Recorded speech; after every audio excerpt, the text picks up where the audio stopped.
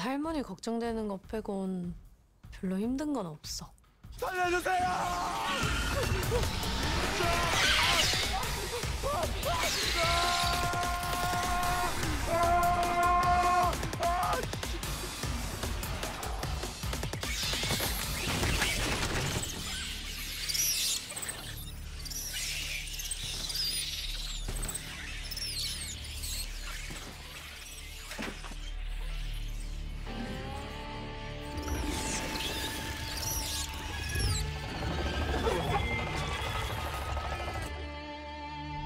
It's showtime.